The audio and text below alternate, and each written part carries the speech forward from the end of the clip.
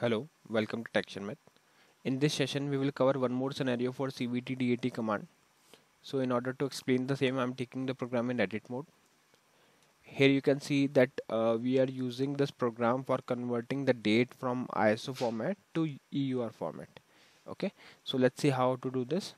For that, we need two variables. So for declaring the first variable, you can press D, you can type DCL, then press F4 here you can pass the variable name. I'm passing it as iso date type is character length uh, storage as auto and length as 8 also we are initializing some value some value as a iso date in this variable. So the date is 20230524 okay?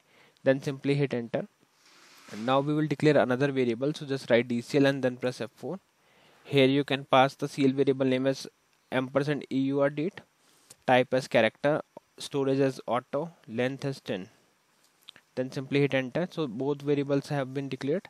Now we will print the value firstly as a iso date. So i'm using send program message command in order to print the value. So just write snd pgm msg then press f4 and passing the variable name as iso date because i want to print the iso value. After this we will convert this. So for converting this we use cvt dat command. So just write cvt dat then press f4 pass the date to be converted as ISO date.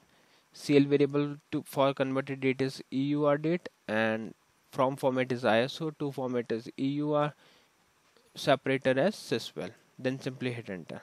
So once this line number 14 got executed it will convert the date from ISO format to EUR format.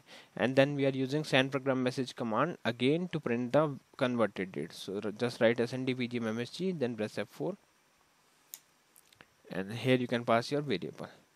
So this code will change the date from ISO to EUR let's save and exit my file. Now I'm compiling this and calling this. So first output we are getting is uh, 20230524 which is an ISO format.